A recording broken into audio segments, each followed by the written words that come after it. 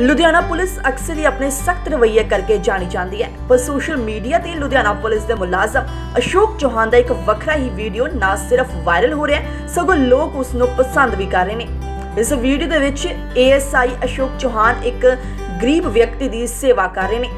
ਉਸ ਨੂੰ ਪਹਿਲਾਂ ਫੜ ਕੇ ਚੰਗੀ ਤਰ੍ਹਾਂ ਨਹਿਲਾਇਆ ਜਾਂਦਾ ਹੈ ਤੇ ਬਾਅਦ ਵਿੱਚ ਚੰਗੇ ਕੱਪੜੇ ਪਵਾਏ ਜਾਂਦੇ ਨੇ। ਉਸ ਦੇ ਵਾਲਾਂ ਦੀ ਕਟਿੰਗ ਵੀ ਕੀਤੀ ਜਾਂਦੀ ਹੈ ਅਤੇ ਫਿਰ ਉਸ ਨੂੰ ਖਾਣਾ ਖਵਾਉਣ ਤੋਂ ਬਾਅਦ ਕੁਝ ਪੈਸੇ ਵੀ ਦਿੱਤੇ ਜਾਂਦੇ ਨੇ ਤਾਂ ਜੋ ਆਪਣਾ ਗੁਜ਼ਾਰਾ ਕਰ ਸਕੇ।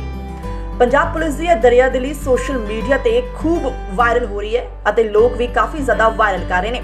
ਜੋ ਸਾਡੀ ਟੀਮ ਦੇ ਵੱਲੋਂ ਅਸ਼ੋਕ ਚੌਹਾਨ ਨਾਲ ਗੱਲਬਾਤ ਕੀਤੀ ਤਾਂ ਉਹਨਾਂ ਦੱਸਿਆ ਕਿ ਲੋਕਾਂ ਦੀ ਸੇਵਾ ਕਰਨਾ ਪੁਲਿਸ ਦਾ ਫਰਜ਼ ਹੈ ਅਤੇ ਜੇਕਰ ਆਪਣੀ ਡਿਊਟੀ ਦੇ ਨਾਲ ਸਮਾਂ ਕੱਢ ਕੇ ਕਿਸੇ ਮਜਬੂਰ ਦੀ ਸੇਵਾ ਕੀਤੀ ਜਾਵੇ ਤਾਂ ਉਹਨਾਂ ਨੂੰ ਕਾਫੀ ਖੁਸ਼ੀ ਮਿਲਦੀ ਹੈ। ਸੋ ਅਸ਼ੋਕ ਕੁਮਾਰ ਦੀ ਵੀਡੀਓ ਲੋਕ ਸੋਸ਼ਲ ਮੀਡੀਆ ਤੇ ਪਸੰਦ ਕਰ ਰਹੇ ਨੇ। ਲੁਧਿਆਣਾ ਦੇ ਪੁਲਿਸ ਕਮਿਸ਼ਨਰ ਦੇ ਵੱਲੋਂ ਵੀ ਇਸ ਨੂੰ ਆਪਣੇ ਅਧਿਕਾਰਕ ਪੇਜ ਤੇ ਸ਼ੇਅਰ ਕੀਤਾ ਗਿਆ ਪੰਜਾਬ ਪੁਲਿਸ ਦੇ ਸਖਤ ਰਵੱਈਏ ਕਰਕੇ ਅਕਸਰ ਲੋਕਾਂ ਨੂੰ ਮਲਾਲ ਰਹਿੰਦਾ ਹੈ ਪਰ ਅਸ਼ੋਕ ਚੌਹਾਨ ਦੀ ਇਹ ਦਰਿਆਦਿਲੀ ਲੋਕ ਖੂਬ ਪਸੰਦ ਕਰ ਰਹੇ ਨੇ।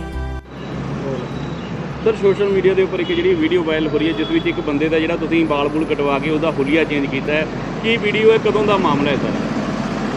ਸਰ ਸਭ ਤੋਂ ਪਹਿਲਾਂ ਤਾਂ ਮੈਂ ਸਾਰੇ ਸਰੋਤਿਆਂ ਨੂੰ ਪਿਆਰ ਭਰੀ ਸਤਿ ਸ਼੍ਰੀ ਅਕਾਲ ਕਹਿਣਾ ਚਾਹੁੰਦਾ। ਮੈਂ ਸਰ ਇਸ ਏਰੀਆ ਦਾ ਟ੍ਰੈਫਿਕ ਇੰਚਾਰਜ ਹਾਂ। ਮੈਂ ਘੰਟਾ ਘਰ ਤੋਂ ਲੈ ਕੇ ਸਮਰਾਲਾ ਚੌਂਕ ਸਾਰਾ, ਲਾਡੋਵਾਲ ਸਾਈਡ ਤੱਕ ਸਾਰਾ ਸ਼ਹਿਰ ਇੱਧਰਲਾ ਮੈਂ ਵੇਖਦਾ। ਇਹ ਕੱਲ ਦਾ ਹੈ ਜੀ ਸਰ।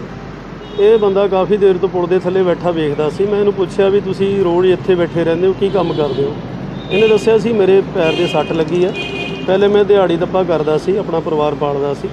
ਤੇ ਹੁਣ ਮੈਂ ਕਾਫੀ ਦਿਨਾਂ ਤੋਂ ਲਾਚਾਰ ਹਾਂ। ਉਹ ਵੇਖ ਕੇ ਮੇਰੇ ਮਨ 'ਚ ਆਇਆ ਕਿ ਮੈਨੂੰ ਇਸ ਪਰਸਨ ਦੀ ਮਦਦ ਕਰਨੀ ਚਾਹੀਦੀ ਹੈ ਜਦੋਂ ਮੈਂ ਉਹ ਵੇਖਿਆ ਕਿ ਕਾਫੀ ਦਿਨ ਤੋਂ ਉਹਦੇ ਵਾਲ ਨਹੀਂ ਸੀ ਕੱਟੇ ਹੋਏ ਤੇ ਗੰਦਗੀ ਇੰਨੀ ਗੰਦਗੀ ਸੀ ਕਿ ਕੋਈ ਉਹਦੇ ਕੋਲ ਆਉਣਾ ਵੀ ਪਸੰਦ ਨਹੀਂ ਸੀ ਕਰਦਾ। ਮੈਨੂੰ ਲੱਗਿਆ ਕਿ ਮੈਂ ਇਹਨੂੰ ਇਸ ਦਲਦਲ ਤੋਂ ਕੱਢਣ ਦੀ ਕੋਸ਼ਿਸ਼ ਕਰਦਾ ਤੇ ਮੈਂ ਤਾਂ ਕੀਤਾ ਸੀ ਸਰ।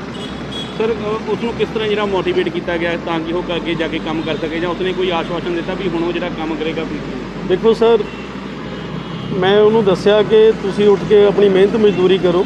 ਉਹਦੀ ਲੱਤ ਦੀ ਥੋੜੀ ਤਕਲੀਫ ਸੀ ਉਹਦੀ ਪੱਟੀ ਵਗੈਰਾ ਕੀਤੀ।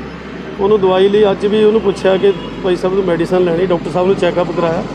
ਤੇ ਉਹ ਮਿਹਨਤ ਮਜ਼ਦੂਰੀ ਕਰਨੀ ਚਾਹੁੰਦਾ। ਤੇ ਪਹਿਲੇ ਕੰਮਕਾਰ ਸੀਗਾ ਵੀ ਤੇ ਮੈਂ ਹੁਣ ਵੀ ਉਹਨੂੰ ਕਿਹਾ ਕਿ ਅਗਰ ਤੁਹਾਨੂੰ ਸਾਡੀ ਹੈਲਪ ਦੀ ਲੋੜ ਹੈ ਕਿਤੇ ਕੰਮ ਕਰ ਲਈ ਤੇ ਅਸੀਂ ਅੱਗੇ ਵੱਧ ਕੇ ਤੁਹਾਨੂੰ ਕੰਮ ਕਰ ਦਿਲਾ ਸਕਦੇ।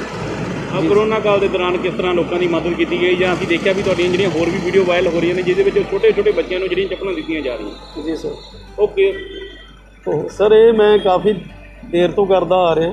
ਕਿਉਂਕਿ ਮੈਂ, ਅਸੀਂ ਜ਼ਿਆਦਾ ਰੋਡ ਤੇ ਡਿਊਟੀ ਕਰਨ ਕਰਕੇ ਸਾਨੂੰ ਅਕਸਰ ਹੀ ਇੱਥੇ ਚੰਗੇ ਮਾੜੇ ਬੰਦੇ ਜਾਂ ਹਰ ਤਰ੍ਹਾਂ ਦਾ ਇਨਸਾਨ ਮਿਲਦਾ ਹੈ। ਤੇ ਅਕਸਰ ਹੀ ਵੇਖਦੇ ਹਾਂ ਕਿ ਕੁਝ ਲੋਕੀ ਮਿਹਨਤ ਮਜ਼ਦੂਰੀ ਕਰਕੇ ਜਾਂ ਆਮ ਬੱਚੇ ਜਿਨ੍ਹਾਂ ਦੇ ਪੈਰਾਂ 'ਚ ਚੱਪਲ ਵਗੈਰਾ ਨਹੀਂ ਹੁੰਦੀ। ਤੇ ਉਹ ਦਰਦ ਮਹਿਸੂਸ ਕਰਕੇ ਮੈਂ ਇਹ ਸ਼ੁਰੂ ਕੀਤਾ ਸੀ ਕਿ ਅਗਰ ਉਹ ਪਰਸਨ ਚੱਪਲ ਪਾਊਗਾ ਤਾਂ ਇਹ ਜੋ ਰੋੜੀ ਬਜਰੀ ਹੈ ਜਾਂ ਪੈਰ 'ਚ ਕੋਈ ਵੀ ਕੰ- ਕੰਡਾ ਵਗੈਰਾ ਜਾਂ ਸਰਦੀਆਂ 'ਚ ਠੰਡ ਵਗੈਰਾ ਉਹ ਤੋਂ ਬਚੂਗਾ। ਤੇ ਇਸ ਕਰਕੇ ਸ਼ੁਰੂ ਕੀਤੀ ਸੀ। ਸਰ ਹੋਰ ਲੋਕਾਂ ਨੂੰ ਕੀ ਅਪੀਲ ਕਰਨਾ ਚਾਹੁੰਦੇ ਹੋ ਵੀ ਕਿਸ ਤਰ੍ਹਾਂ ਉਹ ਅੱਗੇ ਆਉਣ ਤੇ ਲੋਕਾਂ ਦੀ ਜਿਹੜੀ ਮਦਦ ਹੈ ਕਰੋਨਾ ਕਾਲ ਦੇ ਦੌਰਾਨ ਜਾਂ ਵੈਸੇ ਹੀ ਕਰ ਸਕਦੇ ਨੇ? ਸਰ ਮੈਂ ਤਾਂ ਸਾਰੇ ਲੋਕਾਂ ਨੂੰ ਤੁਹਾਡੇ ਚੈਨਲ ਦੇ ਮਾਧਿਅਮ ਰਾਹੀਂ ਇਹੀ ਕਹਿਣਾ ਚਾਹੁੰਦਾ ਕਿ ਅਗਰ ਅਸੀਂ ਇੱਕ ਦੂਜੇ ਦੀ ਬਾਹ ਫੜਾਂਗੇ ਤਾਂ ਅਸੀਂ ਪਿੱਛੇ ਨਹੀਂ ਰਹਿਣ ਦਾਂਗੇ ਇੱਕ ਦੂਜੇ ਨੂੰ। ਸਾਨੂੰ ਇੱਕ ਦੂਜੇ ਦਾ ਸਾਥ ਦੇਣਾ ਚਾਹੀਦਾ ਤੇ ਮਿਲ ਕੇ ਚੱਲਣਾ ਚਾਹੀਦਾ। ਲੁਧਿਆਣਾ ਲਾਈਵ ਲਈ ਸੁਰਿੰਦਰ ਸੋਨੀ ਦੀ ਰਿਪੋਰਟ।